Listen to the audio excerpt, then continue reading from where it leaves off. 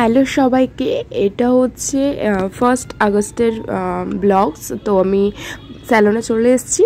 আমি ঠাকুরকে ধূপ দেখি, আমার পার্লারটা মানে স্যালনটা পরিষ্কার করে নিয়েছি। যেহেতু প্রত্যেক দিনই কাজ হয়, চুল কাটা থাকে টাওয়াল থাকে, সেগুলো আগের দিন রাত্রে মানে ক্লিন করার সময় হয় না। তো ওগুলো পরিষ্কার করে নিতে হয়। পরের দিন সকালবেলা এসে এসে ঠাকুরকে ধূপ দেখিয়ে, ধূপ দিয়ে, জল, মিষ্টি দিয়ে তারপর কাজ করতে বসে যাই।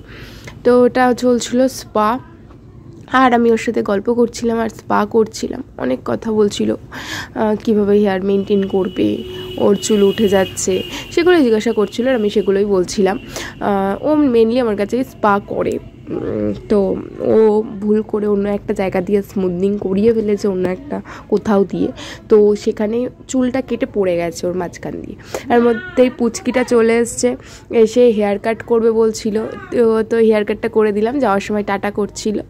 আর মায়েরা আইব্রোজ হেয়ার কাট করেছে, সেগুলো আর দেখাতে পারেনি, কারণ কাজ ভিড় হয়ে গেল মানে পার্লারে একটু ছোট জায়গা তো তো ভিড় মানে ভিড় হয়ে গেলে আর সেই ভিডিও করাটা চায় না। তারপর ও স্পাকে স্পাতে বসিয়ে দিলাম তারপরে এলো বৃষ্টি। কি পরিমাণ বৃষ্টি এসছে, বৃষ্টিটা মানে এত মেঘ করেছে, তো এটাই আমি দেখছিলাম বাইরে বেরিয়ে।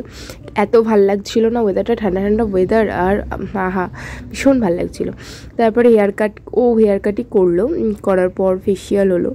এর মাঝে মাঝে যে কাজগুলো হচ্ছিল, যেগুলো নর্মালি মানে তিন চারজন করে আসছিল, সেগুলো ভিডিও করা সম্ভব হচ্ছিল না, কারণ একা কাজ করি তো ভিডিও করতে পারি না। তো ফেসিয়াল ফ্রুট ফেসিয়াল হলো ম্যাক্সগুলোর তারপরে এলো আবার একটা স্পা যেগুলো মোটামুটি কাজ করার পর টাইম থাকে সেগুলোর ভিডিও করি। তো চলো বাই বাই টাটা।